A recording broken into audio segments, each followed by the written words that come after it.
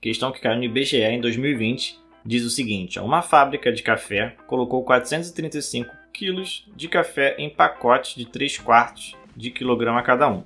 Quantos pacotes foram obtidos? Então aqui eu tenho a quantidade de café distribuído em pacotes de 3 quartos de quilo.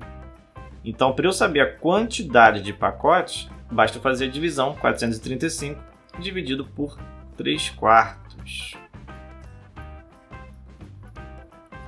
Então aqui eu tenho uma divisão de frações em que eu repito a primeira fração, que é um número inteiro, mas eu posso escrever como 435 sobre 1, vezes, e a segunda eu inverto, 4 terços. Ou seja, vai dar aí 20, 12, 14, 16, 17 dividido por 3.